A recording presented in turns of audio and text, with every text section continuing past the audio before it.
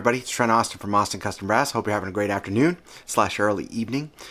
Working a little bit late tonight at the shop to get some videos done before I go on vacation. And this is one that I wanted to get done. This is the ACB, hello, hello. This is the ACB dual trigger. You can see the true triggers here. Cornet, and this is in gold lacquer. It's uh, a traditional large bore, so in the large bore cornet world, it's around 0.468 and it is a fun, fun, fun playing horn. Uh, I'm going to be using my 1.5 CB. It's a cornet mouthpiece, but more trumpet mouthpiece, so it will be a little bit brighter.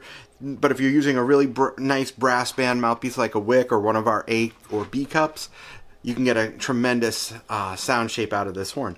So here you go. Here's a little cornet.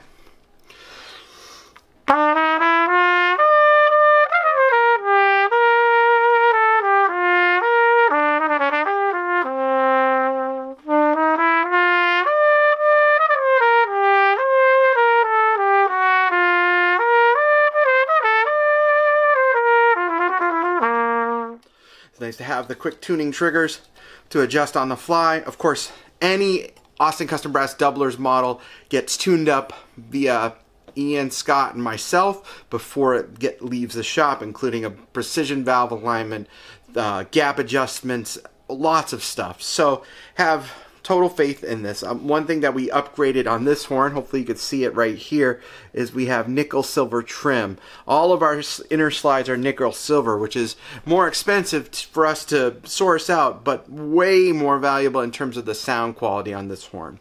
So.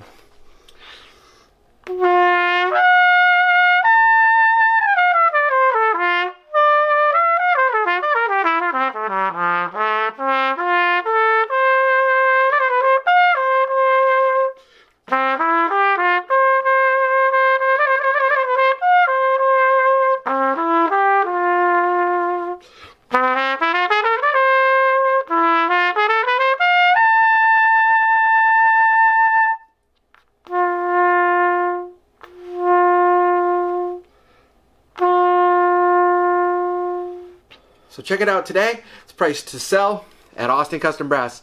Please subscribe to our YouTube channel, and if you have any questions or any requests, send them to us via email at info at austincustombrass.com. Thanks so much.